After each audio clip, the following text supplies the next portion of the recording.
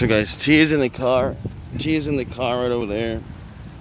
Um, I'm gonna mail something over here real fast at the UPS store.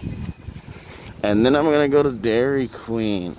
She doesn't like Dairy Queen because they have a lot of them in Texas and she doesn't like Texas for whatever reasons. Uh, she's not for shit because she's uh, mental. But um, yeah, I want to stop at Dairy Queen when I'm done and uh, get something from there. I haven't been there in a year, maybe like two, uh, three years since I was in uh, Houston, Texas. So.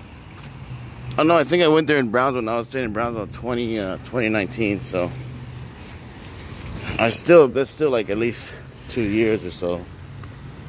But uh, I'll go in there and get a snack or something. So yeah.